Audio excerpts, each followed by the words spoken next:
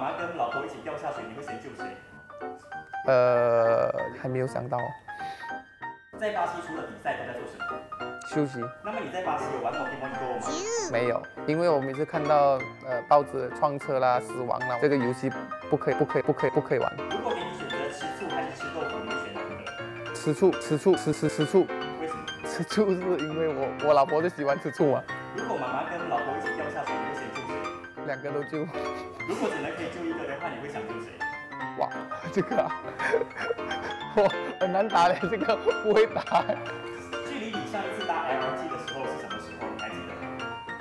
我上次没有搭过 LRT，耶 从来没有搭过 LRT 吗？没有哎。